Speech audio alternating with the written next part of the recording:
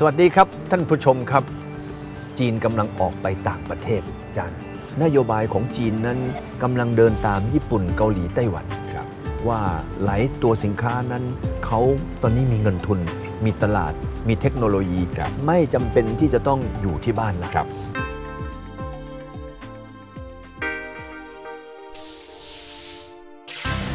วันนี้เอ่ออาจารย์มองว่าอนาคตของจีนเนี่ยนะที่จะ ไปต่างประเทศ หรือจะพัฒนาเศรษฐกิจในอนาคตเนี่ยน่าจะเป็นแนวนะในลักษณะอย่างไรมาถึงคำอีกคำหนึ่งนะ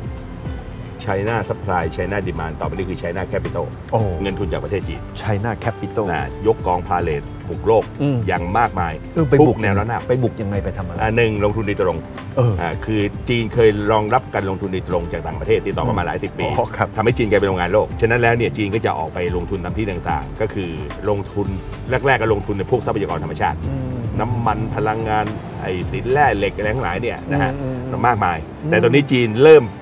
ขยายการลงทุนไปสู่พวกอุตสาหกรรมอืมอ่า manufacturing ทางครับอุตสาหกรรมนะฮะครับครับโรงงานต่างๆ ทั้งหลายเนี่ยเอ่ออืมจีนก็บอกว่าจะไปตั้งตามที่ต่างๆแหละครับนะครับครับเอ่อแรกๆก็ตีรอบนอกก่อนอ่าอ่าไปแอฟริกาไปลาตินอเมริกาอืมนะครับไปรอบๆเอเชียใต้อืมแต่ตอนนี้เราไปดูศรีลังกาในเปาพวกนี้นะฮะอืมบางประเทศเนี่ยนะฮะอืมแล้วก็แล้วก็ปากีสถานเนี่ยครับล้วนแล้วแต่มีจีนเป็นระดับต้นๆของการลงทุนทั้งสิ้น ในแต่ละปีเนี่ยตอนนี้จีนไปลงทุนเป็นเม็ดเงินในต่างประเทศอา จารย์มีตัวเลขไหม ทะลุแสนล้านแล้วนะครับแต่จีนเขาประกาศเลยนะและหนึ่งแสนล้านอย่างเร็วปีนี้อย่างช้าปีหน้า อืมที่จีนการลงทุนต่างประเทศในจีนเนี่ยจะมากกว่าที่ต่างประเทศไปลงทุนในจีนอืมแล้วได้ยินว่าตอนนี้นอกจากไปลงทุนแล้วเนี่ยรัฐบาลยังมีนโยบายเรื่องการเงิน ครับอยากให้ใช้เงินหยวน เพราะอ่าไม่ต้องการเป็นรูปครับ สามเหลี่ยมใช่ครับ นะหรือไม่ก็ตั้งเอ่อธนาคาร ครับ AIIB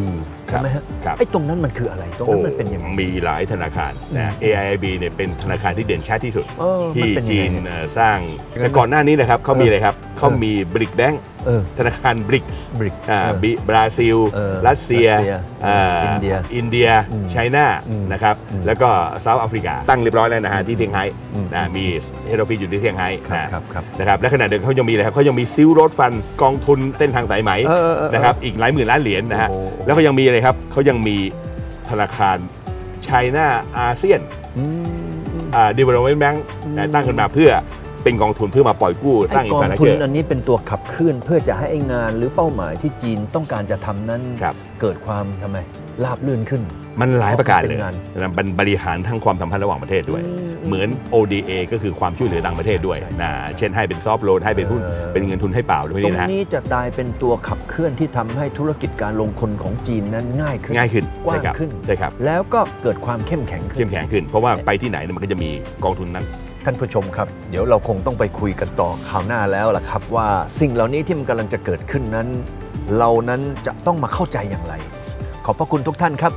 ที่ติดตามชมรายการของเราสวัสดีครับ